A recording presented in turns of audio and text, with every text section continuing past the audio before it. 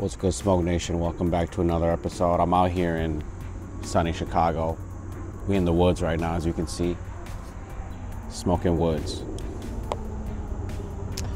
So let's just go ahead and get straight into the content. I'm not here to waste your time.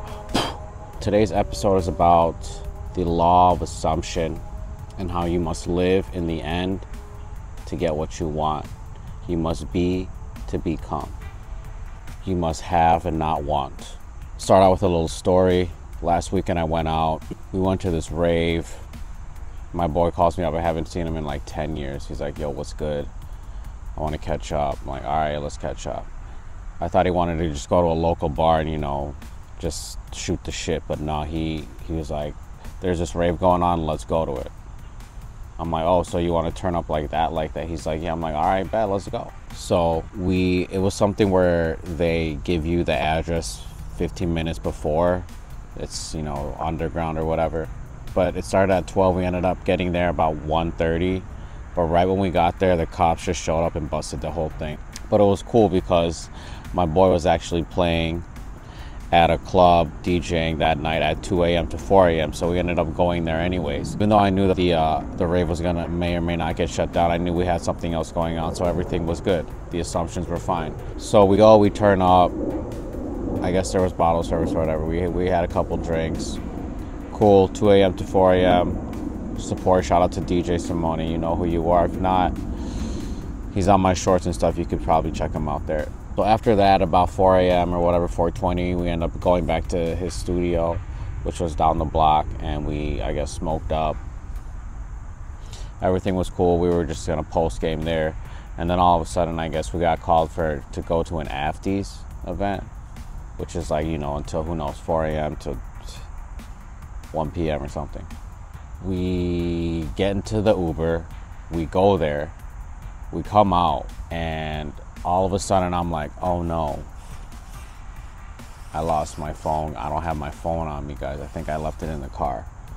After that initial emotionalness, I just was like, all right, well, whatever. I'll just get in the morning because I knew it wasn't gone. I knew I didn't lose it. It was just in this guy's car. And if it wasn't in this car, it was in my homie studio. So I knew I was gonna get it tomorrow. I'm like, well, all right, well, whatever. I can't get it right now. Why should I worry about it? I already have it. It's it's just somewhere right now that I'll get tomorrow, whatever. Started fucking jamming to the music. Got a drink. It was like, you know, my, my boy had just finished rolling a blunt. We smoked it. It was great. So I was having a great time. so obviously I was assuming I have it because I did have it. Um, didn't really care. I literally forgot all about it. Did not tweak out about it at all. My emotions were were fucking on point. Living in the end because I already had it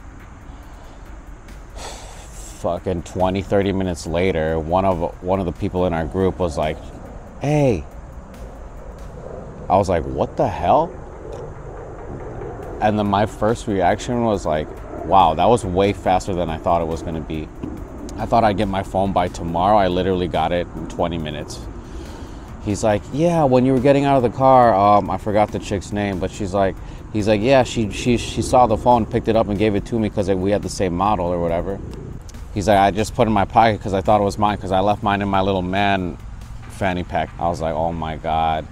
I just gave him a huge hug. I gave them both a huge hug. And I was just, the manifestations, the, the law of assumption, all that stuff is real life and it works. I mean, just having that happen to me was, was, was so awesome. It was so awesome and I just felt amazing. Actually, my, my state didn't change. I felt amazing the whole time because I was living in that end already.